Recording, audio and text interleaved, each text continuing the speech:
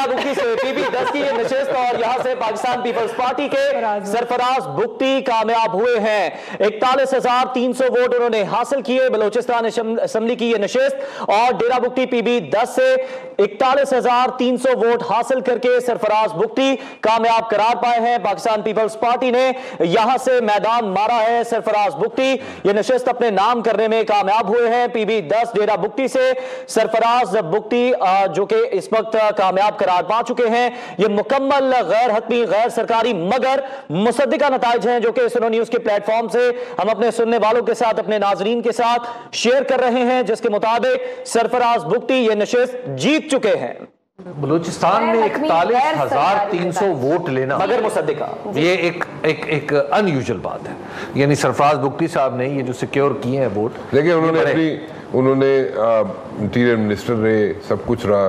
उन्होंने छोड़ा तो उनको रिजाइन किया। रिजाइन किया। उस वक्त ये कहते थे कि नून लीग में मेरे दोस्त ज़्यादा है मैं नून लीग में जाऊँगा। आपको याद होगा ये, टीवी ये प्रोग्राम मुझे में नहीं याद खैर लेकिन ये मुझे नहीं याद लेकिन यू नो देखिए statement सुन के went shock for लगा। the उनके खिलाफ elections एक बयान देने के बाद उन्होंने यूटर्न भी लिया था। स्टेटमेंट दे- सुनते हाँ, तो नून लीग आपको में याद जाऊँगा। नून लीग में जाऊँगा। देखिए पीपल्स पार्टी के समझ में आती है उनका पीपल्स पार्टी में जाम जाना बट नून लीग के साथ तो जाम अफलस बेला जाम कमाल साहब। अनवारुल हक काकड़ साहब और सरफराज बुक्टी साहब। हाँ।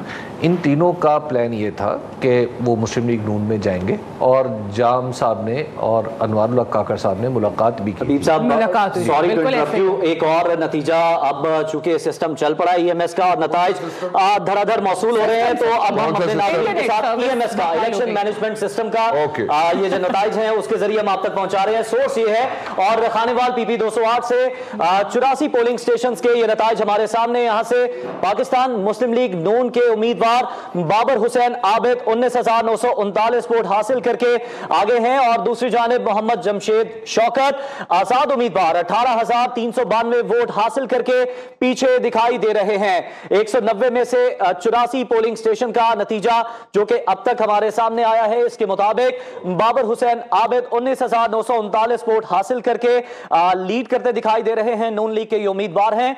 पीछे छोड़ा इन्होंने आज़ाद उम्मीदवार को। दूसरी जानब बिहारी की ये नशिस्त, पीपी 235 जहाँ से मोहम्मद जानजेब खान खिजी आज़ाद उम्मीदवार हैं।